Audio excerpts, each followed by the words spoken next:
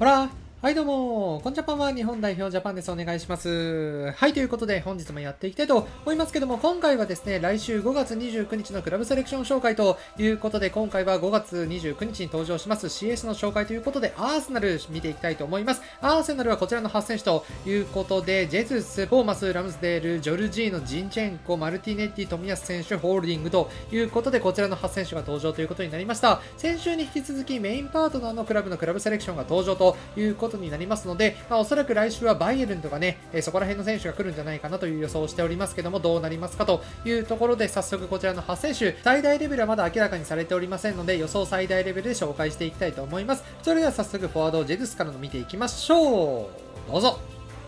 ということで、まずジェズスの能力値になりますけども、今回ジェズスは最大レベル21で見ていこうかなと思います。まずはライブアップで B ということになりますので、今週からしっかり使っていけます。というところで見たときに、能力値はですね、まあやはりパス系というところはマイナスという結果になりましたが、得点能力、オフェンスセンス、決定力上がっていますので、センターフォードとして使うのであれば間違いなく得点力が高い今回かなと思いますけども、前回のシティのクラブセレクションに関してはスーパーサブ持ってるんですよね。まあですので前半から出すなら間違いなく今回かなと思いますけども、スパサブというところで見たときには、ぜひ前回回の方を使っていただければというところですね。まあ、スタミナもそこまで高くありませんので、個人的に前回の方をスパサブで使っていただければというところかなと思いますし、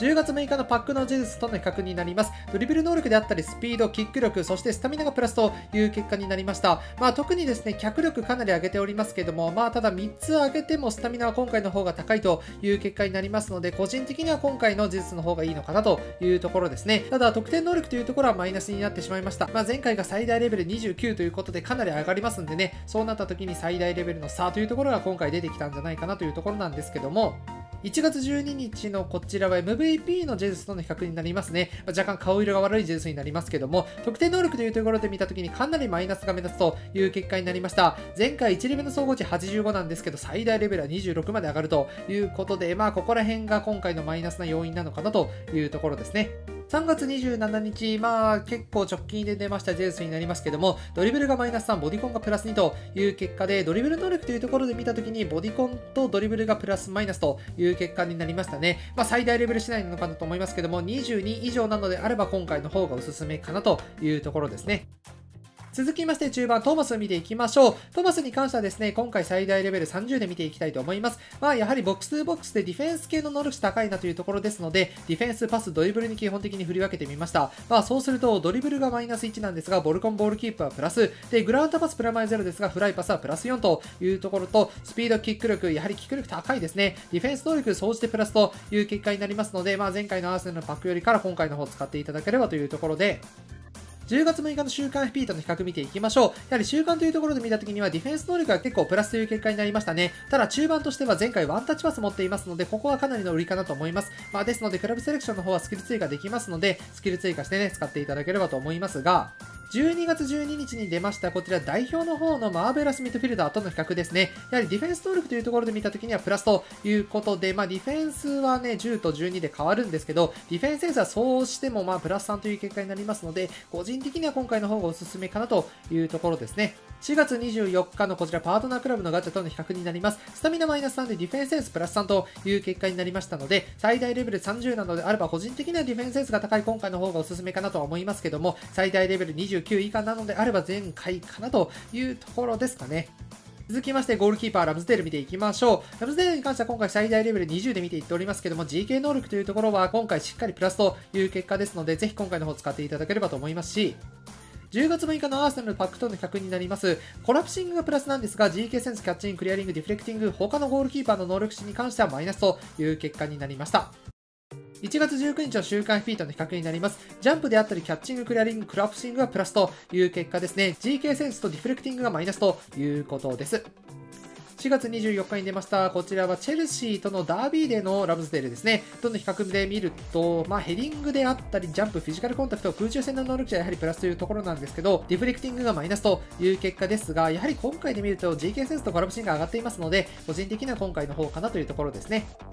続きまして、アーセナルのクラブセレクションで初登場となりますジョルジーニョということで、ジョルジーニョに関しては今回最大レベル26で見ていこうかなと思いますけども、基本的に今回の方が能力値上げることができますが、フライパスからスタミナまではマイナスという結果で、ただまあ今回に関してはドリブル能力、そしてグラウンダーパス、ディフェンス能力プラスですので、個人的には今回の方がいいのかなというところで、イサキの FB2 月16日に出ましたジョルジーニョとの比較になります。こちらで見ると、フェンセンス、瞬発力、ボディコンはプラスなんですが、ドリブル能力であったり、パス系、スタミナがマイナスという結果になりますので、まあ、よりこうドリブルであったり、脚力に振り分けた方がいいのかなというところですかね。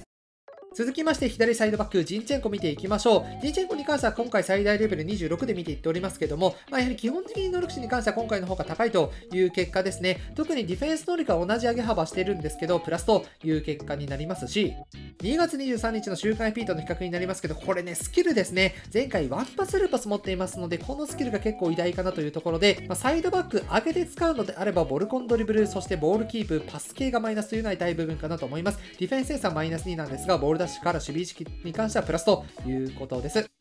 最後に3月27日に出ましたパートナークラブのジンチェンコとの比較になりますけども、ま、こちらも同様かなというところですね。パス系スタミナに関してはプラスなんですが、ドリブル能力であったりディフェンス能力に関してはマイナスという結果になります。最大レベル次第なのかなと思いますけども、今回のジンチェンコはあまり能力値強化されてないのかなというところですね。続きまして左サイドハーフマルティネリ見ていきましょう。マルティネリに関しては今回最大レベル23で見ていっております。まあ、特にドリブル能力、オフェンスセンス80台に乗せることができるというところありがたい部分かなというところで、スピード瞬発、ボディコン、スタミナ、ここら辺が高いですね。逆足の精度は高いということで、スキルはルーレットが追加という結果になりました。10月6日に出ましたアーセナルのパックとの比較になりますけども、ドリブル能力であったり、スピード瞬発、キック力がプラスですので、これはぜひね、今回のマルティネリに乗り換えていただければと思いますし、前回のダービーデーとの比較ですね、オフェンスセンスがプラス3なんですが、ドリブルはマイナス2という結果になりますので、まあ、オフェンスセンスが高い方がいいのかなというところですね。続きまして、右サイドバック本適性、富安選手見ていきましょう。守備的サイドバックということで、まあ、ディフェンス能力が今回かなり高いですね。すべて90台というところが今回の売りかなと思います。ただまあ、スピードがマイナスという結果になってしまっていますね。10月6日のアーセナルのパックとの比較になりますけども、パス系であったりドリブル能力がプラスなんですが、スピードであったり、あとはスタミナ、守備意識がマイナスという結果になります。まあこれ最大レベル26以上なのであれば個人的には今回の方がおすすめかなというところですね。そして最後にビッグタイムの富安選手との比較になりますけども、スピード瞬発、ディフェンス能力、総じてマイナスという結果ですので、これはぜひビッグタイムの方を使っていただければというところですね。続きましてセンターバック、ホールディング見ていきましょう。初登場ですね。ディフェンス能力というところで見たときにはガチスカ隊で使える選手ではないのかなというところですが、まあ、ある程度の能力値は担保されているのかなというところです。最大レベルは今回25で紹介していきました。